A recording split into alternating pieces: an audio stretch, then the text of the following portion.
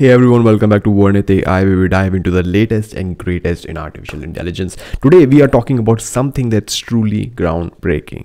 The world's first AI software engineer that's shaking up the entire industry.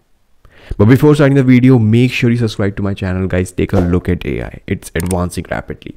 And if you don't stay updated, you will fall behind. But don't worry, I'm here to provide you with daily update of what's going on in the AI world. I post AI videos every single day. Just think if you watch my videos, you will stay ahead of 99% of the people. Guys, AI is the future. AI is here to stay. Whether you like it or not, it doesn't matter. So you need to adapt yourself to the changing technology before it's too late and I'm here to assist you with that. So please subscribe. Let's get started. So let's jump right in. Recently, Cognition Labs made a stunning announcement that caught everyone's attention. They have introduced Devin, the world's first AI software engineer. This isn't just any AI. Devin is a state-of-the-art autonomous agent that's already making waves in the coding world. Devin has passed engineering interviews at leading AI companies and even completed real jobs on Upwork. But what's really impressive is its performance on the SWE benchmark. Devin resolved nearly 14% of the GitHub issues unassisted, blowing past the previous best performance of just under 2%. Let's take a look at Devin in action. Hey, I'm Scott from Cognition AI, and today I'm really excited to introduce you to Devin, the first AI software engineer.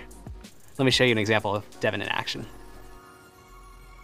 I'm going to ask Devin to benchmark the performance of Llama on a couple different API providers. From now on, Devin is in the driver's seat. First, Devin makes a step-by-step -step plan of how to tackle the problem. After that, it builds a whole project using all the same tools that a human software engineer would use. Devin has its own command line, its own code editor, and even its own browser. In this case, Devin decides to use the browser to pull up API documentation so that it can read up and learn how to plug into each of these APIs. Here, Devin runs into an unexpected error. Devin actually decides to add a debugging print statement. Reruns the code with the debugging print statement, and then uses the error in logs to figure out how to fix the bug. Finally, Devin decides to build and deploy a website with full styling as the visualization. You can see the website here. All of this is possible today because of the advancements that we've made in both reasoning and long-term planning. It's a really hard problem, and we've only just started, but we're super excited about the progress that we've made so far. In the meantime, if you'd like to try out Devin on your own real-world tasks, send us a request below, and we'd be happy to forward it to Devin. What's fascinating is Devin's ability to debug. It adds a print statement, identifies the error and fixes it all on its own. And it doesn't stop there. Devin even builds and deploys a fully styled website as a part of its solution. This level of autonomy and problem solving is unprecedented. It's a testament to the advancement in reasoning and long-term planning in AI, and the potential applications are vast. Imagine having an AI like Devin tackle your real-world coding tasks. Also, Cognition Labs is well funded with a $21 million Series A led by Founders Fund.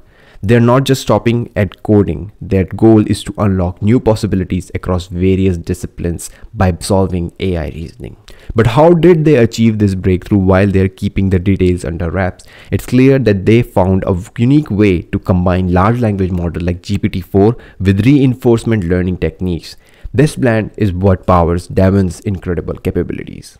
Andrej Karpathy, a well-known figure in AI, drew an interesting parallel between autonomous driving and software engineering automation. He suggests that AI like Devin will take over more routine coding tasks, allowing human engineers to focus on higher level design and problem solving. Guys, this is just a beginning. Devin represents a shift in how we approach software engineering.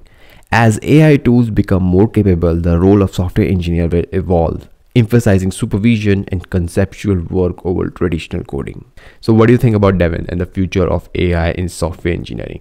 Are you excited or concerned about this development? Share your thought in the comment section below. And if you found this video informative, don't forget to like, share and subscribe for more update from the world of AI.